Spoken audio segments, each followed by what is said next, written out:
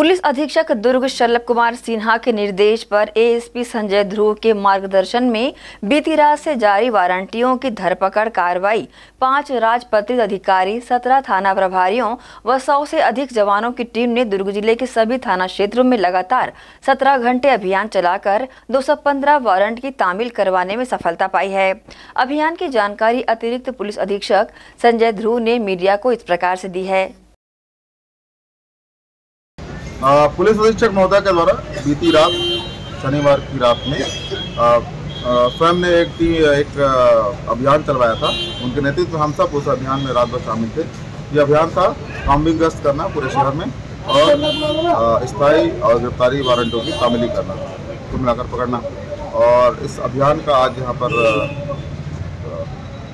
Control room में एक conclude किया गया। कंक्लूजन का मतलब एक एग्जाई बनाया गया कि कितने वारंटी हम लोगों ने चौबीस घंटा रात से लेकर अभी तक जो कंक्लूड किया है टोटल को, उसको एनालाइज किया है। इसमें दुर्ग पुलिस ने बेहतर काम करते हुए टोटल 209 वारंटियों को गिरफ़्तार किया है रात भर के अभियान में।